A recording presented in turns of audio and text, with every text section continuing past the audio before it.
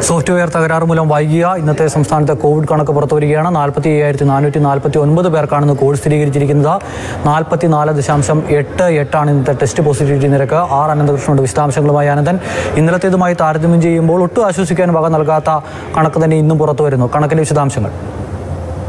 അമൽ സാങ്കേതിക തകരാറ് മൂലമാണ് ഇന്ന് മൂന്ന് മണിക്കൂർ വൈകി കോവിഡ് രോഗികളുടെ കണക്ക് ഇന്ന് സർക്കാർ പുറത്തുവിട്ടത്. നാൽപ്പത്തി അയ്യായിരത്തി നാനൂറ്റി നാൽപ്പത്തി ഒൻപത് പേർക്കാണ് ഇന്ന് കോവിഡ് സ്ഥിരീകരിച്ചത്.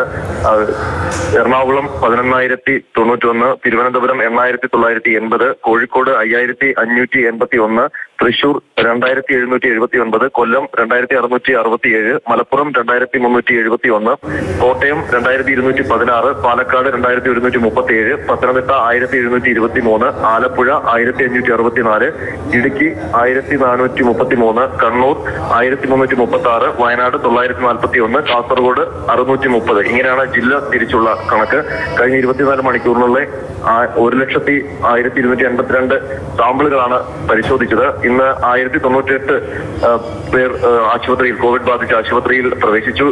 ഇരുപത്തിയേഴായിരത്തി തൊള്ളായിരത്തി അറുപത്തി ഒന്ന് പേർ രോഗവിമുക്തി നേടിയിട്ടുണ്ട്. ആ, തുടർച്ചയായി നാലാം ദിവസവും നാൽപ്പതിനായിരത്തിലേറെ രോഗികൾ നിലനിൽക്കുകയാണ് സംസ്ഥാനത്ത്. നാൽപ്പത്തിനാല് ദശാംശം എട്ട് എട്ട് ശതമാനമാണ് ഇന്നത്തെ ടി പി ആർ നിരക്ക്. ഇതോടെ ആക്റ്റീവ് കേസുകൾ രണ്ടര ലക്ഷം കവിഞ്ഞിട്ടുണ്ട്. ആശുപത്രികളിലുള്ള രോഗികളുടെ എണ്ണവും കൂടി എണ്ണായിരത്തി എണ്ണൂറ്റി എൺപത്തി മൂന്ന് രോഗികളാണ് ഇപ്പോൾ സംസ്ഥാനത്തെമ്പാടും കോവിഡ് ബാധിച്ച ആശുപത്രിയിൽ കഴിയും കഴിയുന്നത്. ടി ബി ആർ നിരക്ക് രണ്ടാം ദിവസവും നാൽപ്പത്തിനാലിന് മുകളിൽ തുടരുന്നു എന്നുള്ളതും ആശങ്കയുണ്ടാക്കുന്ന കാര്യമാണ്. അമൽ. എന്തായാലും ജില്ലാതല പ്രതിദിന കണക്ക് പതിനായിരം കടന്നിരിക്കുന്നു എറണാകുളത്ത് പതിനായിരത്തിലധികം രോഗികളാണുള്ളത്. ആശുപത്രിയിൽ പ്രവേശിപ്പിക്കുന്ന ആളുകളുടെ എണ്ണത്തിൽ കൃത്യമായ വർധനവുണ്ട്. ടി പി ആർ കഴിഞ്ഞ കുറേ ദിവസങ്ങളായി നാൽപ്പതിന് മുകളിൽ തുടരുകയാണ്. നാൽപ്പത്തിനാല് ദശാംശം എട്ട് എട്ട്. ഇന്നലെ ഇതിനോടടുപ്പിച്ച് തന്നെയുള്ള ടി പി ആർ തന്നെയായിരുന്നു ഇന്നലെയും പുറത്തു വന്നത്. അത്തരത്തിൽ ഒട്ടും ആശ്വസിക്കാൻ വക നൽകുന്ന ഒരു കണക്കല്ല പുറത്തു വരുന്നത്. തുടർച്ചയായ നാലാം ദിവസവും നാൽപ്പതിനായിരത്തിലധികം രോഗികൾ ഉണ്ടാകുന്നു.